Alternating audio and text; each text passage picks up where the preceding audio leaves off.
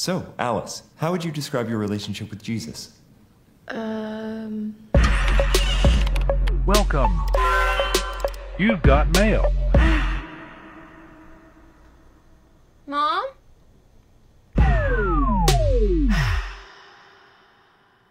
Fine. Just fine? Okay, it's like this.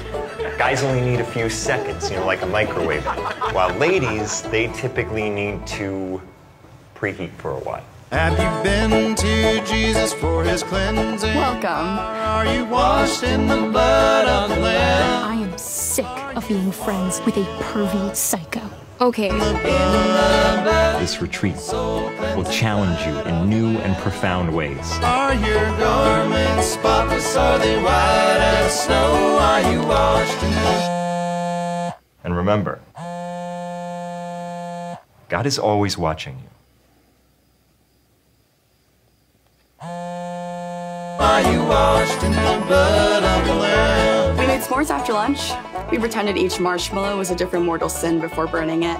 Yours was lust. Oh.